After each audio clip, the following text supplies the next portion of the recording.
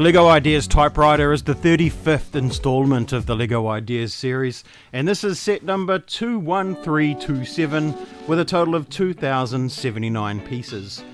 So the typewriter was a beautiful build and I did enjoy it for the most part. There is a lot of Technic on the inside and I'll get to that a little bit later. Uh, but for now you can see that the keys are all printed. They are not stickers and they are on 2x2 round light blue-grey tiles, where the shift key and the shift lock key are on 3x3 light blue-grey tiles. One thing that you'll notice is that there is no numbered tiles on there, and that was a deliberate decision by the designers to leave them off to make the tiles more usable in other builds. There are two stickers on the set. There is this one down in the front here which says system and if we spin it around there is one on the back here that says system in play with some hidden meaning in there which is the original fan designer's initials and birthday.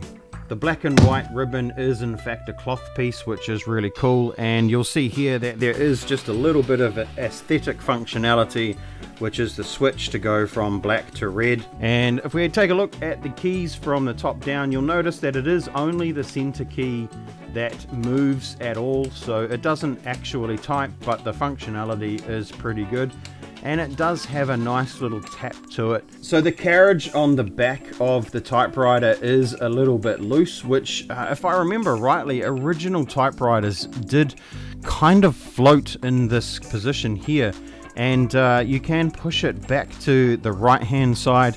It will stay there and as you operate the keys, it will move back along towards the left uh, just as a normal typewriter would and that functionality is extremely cleverly done on the inside with the use of some gears uh, and it is really just an amazing piece of engineering so uh, full credit to the designer and uh, the fan designer that, to come up with this concept in the first place.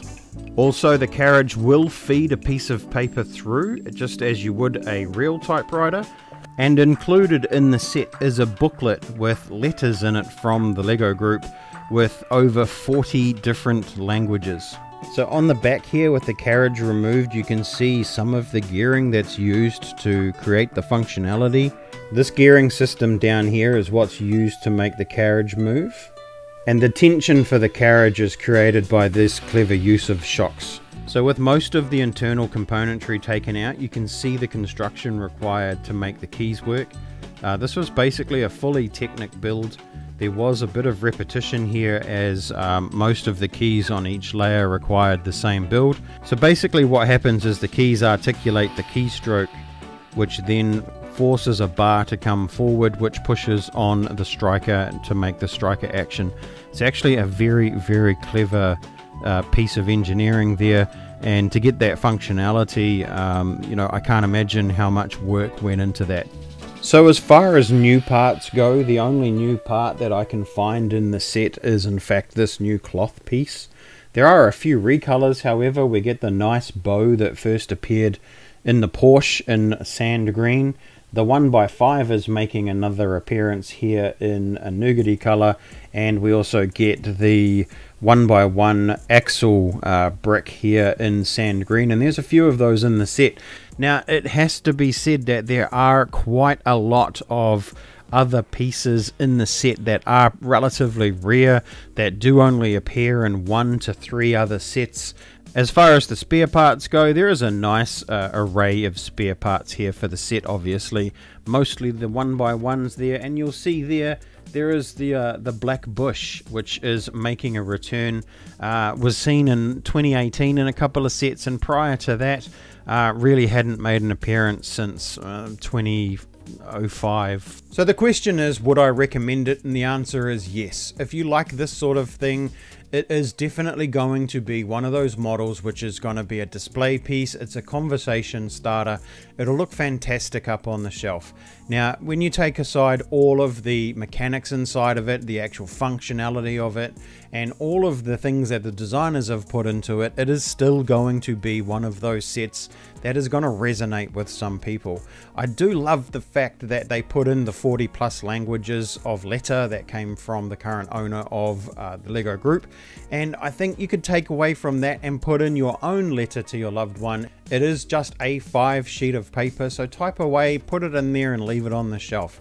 I had the typewriter sitting out on my coffee table ready to do the filming for the intro for this video, and the in laws are in town for a visit this weekend. My father in law saw the typewriter sitting there and didn't even realize it was made out of Lego. That is a testament to the design and the recognizability of the model itself.